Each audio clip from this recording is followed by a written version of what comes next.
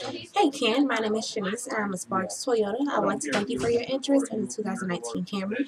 I'm here to provide you with any information that you may need. If you have any questions, please feel free to reach out to me at my contact information is below.